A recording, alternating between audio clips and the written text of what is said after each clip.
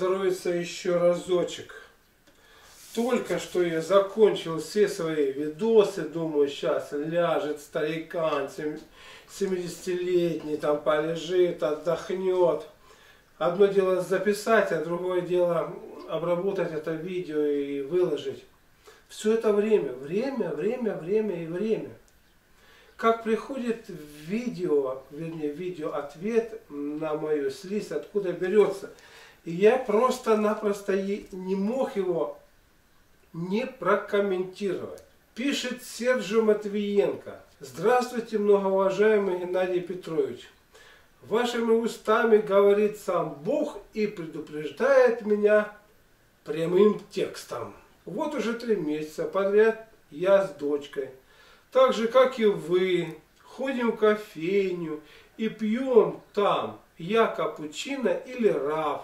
В общем, все, что имеет в своем составе сливки. Дочь еще более сильную слезообразующую жижу, молочный коктейль, мороженое с молоком, взбитое в блендере. Пьем в среднем порции 300 мг, но каждый день. Начал баловаться мороженым, так же, как и вы. И начал замечать то же самое.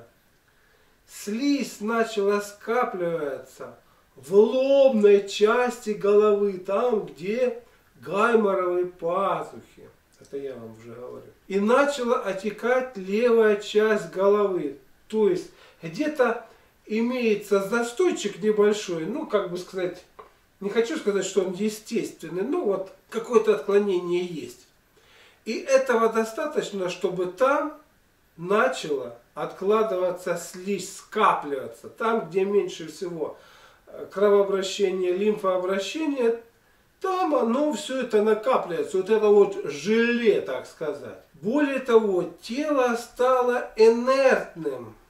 Да, пища, вот эта вот пища, слизеобразующая, это инертная пища, согласно аюрведе, она называется там тамасик пища, то есть она придает телу э, состояние тамаса. Тамас это инертность. Далее прекрасно Сержио, я радуюсь тому, что он все-таки схватил вот эту науку в какой-то степени.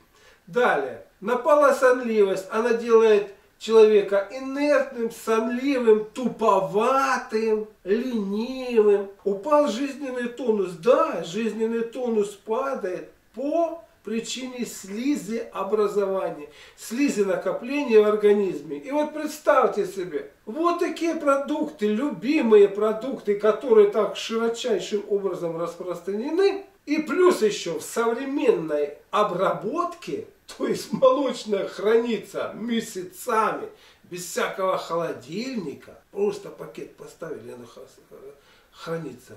Вот что там может быть такого, что оно так хранится?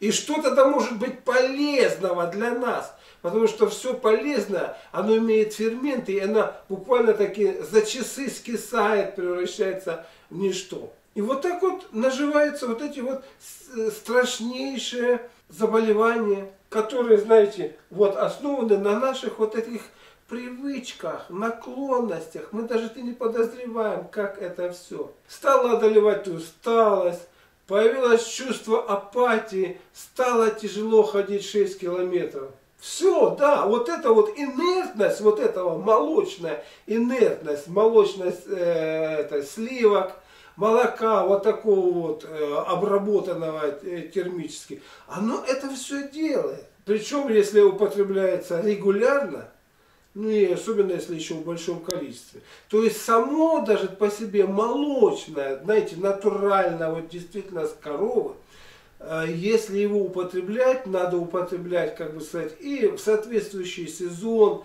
соответствующие дозы, тогда как-то все будет нормально. И чтобы у вас еще организм имел ферменты на расщепление этого там солодового сахара там, или лактазы, там чего-то там.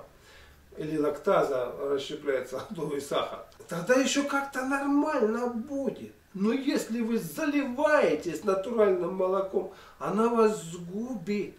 А тут вообще молоко, которое и молочные продукты, которые хранятся, так это ну, наиболее, вот, эм, как бы сказать, явно действующие да, в отношении слизи. А сколько этих продуктов, смотришь на эту колбасу, а она э, вместо того, чтобы, знаете, э, суховатенькая быть там, с мясцом, она просто водой сочится, ты ее разрезал, на вода выступает. То есть для того, чтобы поднять вес воды туда.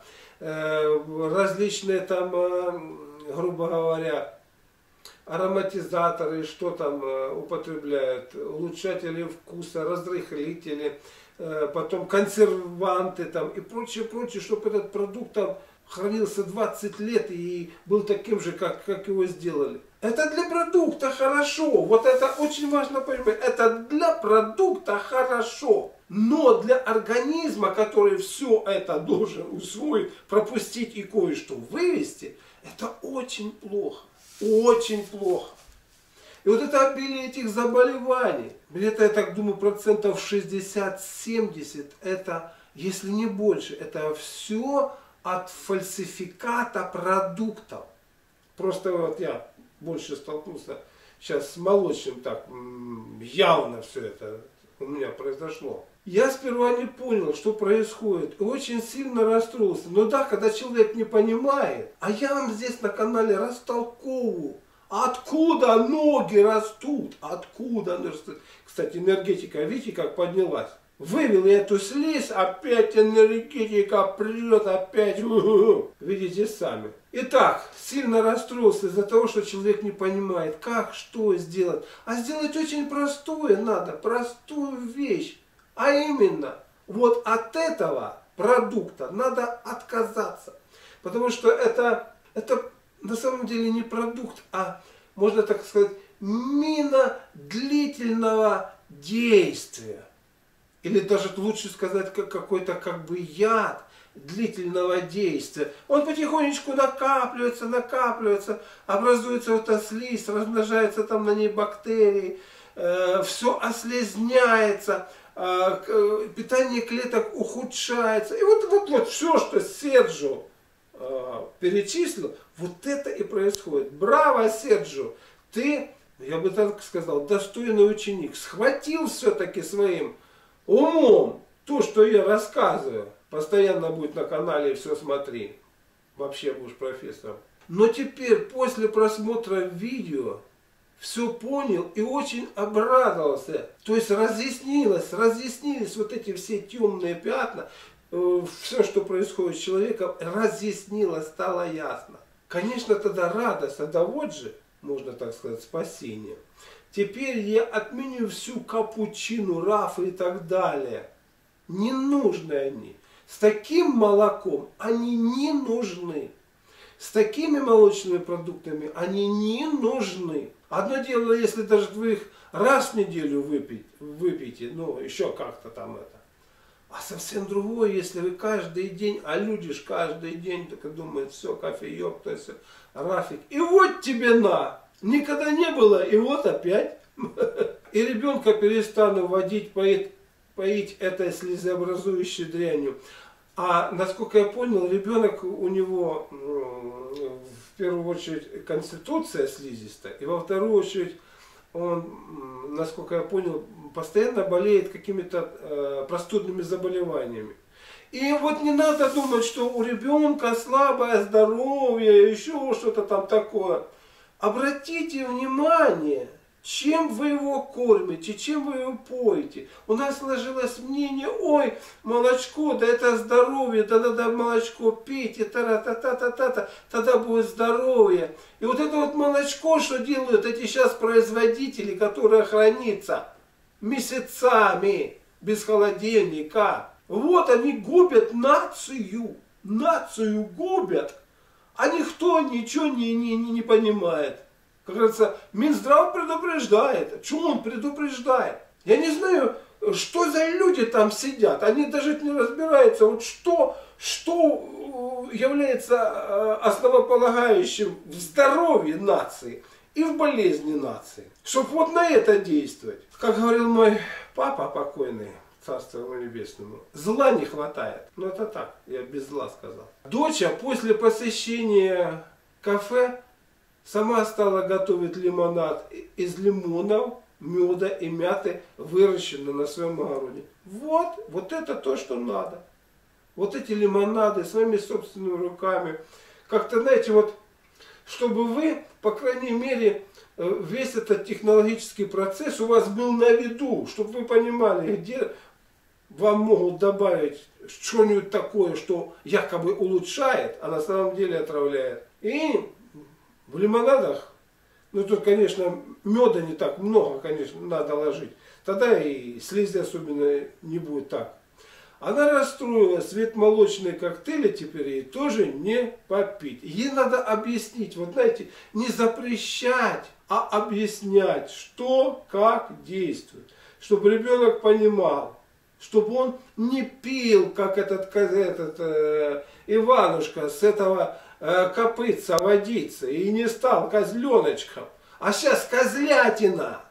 Кругом козлятина. Слизь накапливается и возле пупка. Очень хорошо это чувствую. Да она везде накапливается. Она везде. Вот это именно инертность организма, сонливость, апатия, лень и тупость. Это все следствие употребления тамос-продуктов, которые вот это все содержат содержат слизь, содержат то, что не переваривается и что у нас накапливается. Так сейчас в 17.00 пойду на ходьбу 6 км. Большое спасибо за такое жизнеспасительное видео. Ура! Ура! И еще разок скажем ура! То есть для кого-то вот это вот моя информация кажется несущественной, для кого-то бредовой, для кого-то там я руками машу, для кого-то еще а для кого-то она является спасительной. И вот и всего, что вы видите, что вы отбираете по зернышку то, что вам помогает. То, что делает вас здоровым и процветающим. Хау! Я все сказал. Я благодарю вас за то, что откликаетесь, проявляете свою благотворительность на поддержание канала.